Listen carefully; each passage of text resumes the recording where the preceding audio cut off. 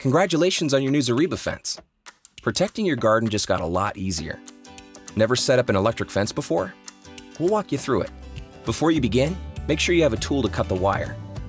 If you're close to a reliable source of power, you're probably using an AC charger. If your garden is farther from power, a battery-powered DC charger is the best option. If you're using an AC charger, make sure to mount your fence energizer securely in a waterproof place and unplug it before working on the fence. Drive the ground rod into the ground, leaving 2 inches showing, then tighten on the ground rod clamp. Attach the wire to the energizer by unscrewing the knob and making a loop of wire to go around the bolt, then tightening the knob over the wire. Connect the ground line to the energizer by inserting the hookup wire into the clamp and tightening the screw. Plug in or turn on the charger. Test your energizer by grounding the fence tester and hanging it from the fence terminal. Place the fence stakes around your garden, no more than 10 feet apart.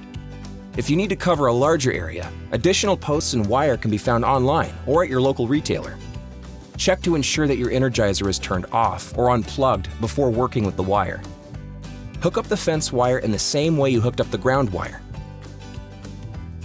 Beginning with the bottom line, string the wire through the posts, selecting the wire spacing and height needed for whatever animals are threatening your garden. Make sure the line doesn't touch grass or other plants. As you string the top wire, make sure to hang the provided warning signs on the fence to protect against accidental contact.